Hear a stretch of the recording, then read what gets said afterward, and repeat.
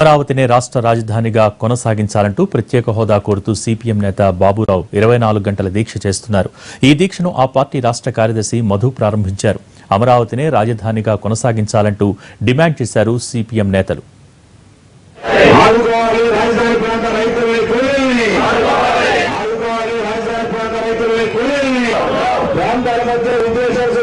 YCP ప్రభుత్వం కొనసాగించాలి. అమరావతి కేంద్ర రాజధాని తరలింపు విషయంలో జగన్ సర్కార్పై మండిపడ్డారు సిపిఎం రాష్ట్ర కార్యదర్శి మధు. రాష్ట్రంలో కొత్తగా వచ్చిన పరిశ్రమలు ఏవీ లేవని కేవలం రియల్ ఎస్టేట్ వ్యాపారం మాత్రమే నడుస్తోందని అన్నారు మధు.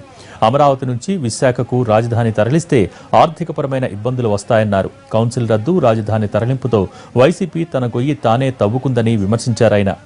జగన్ మూడు రాజధానుల నిర్ణయాన్ని వెనక్కి తీసుకోవాలి లేకుంటే భారీగా మూల్యం చెల్లించుకోక తప్పదని అన్నారాయన వద్దులాలి. అమరావతి రాజధాని అంటే నేను ఇచ్చా భూమి.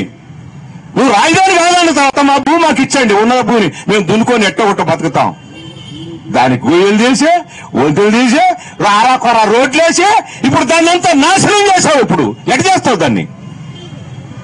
నేను మనం చేస్తున్నా వైఎస్ఆర్ కాంగ్రెస్ పార్టీ తన కాళ్ళనే తనే నరుక్కుంటా ఉందని చెప్పేసి నేను మనం చేస్తున్నా. ఇది మంచిది కాదు.